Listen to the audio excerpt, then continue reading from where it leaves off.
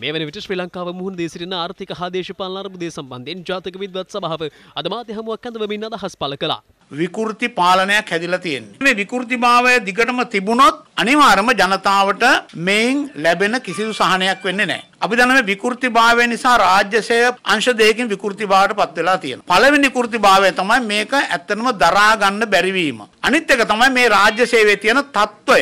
රාජ්‍ය සේවයේත් අපි දන්නවා විශාල වශයෙන් තියෙන්නේ මයි මෑන් පොලිසි. අපි දන්න මේ මෑතකදී පත් කරන ලද මේ නව අමාත්‍ය මණ්ඩලයේ ලේකම්වරු ගණනාවක් ඉන්නවා. ප්‍රසිද්ධ ඩීල් කරුවන්ගේ නිර්දේශ මත පත්වනු ලේකම්වරු.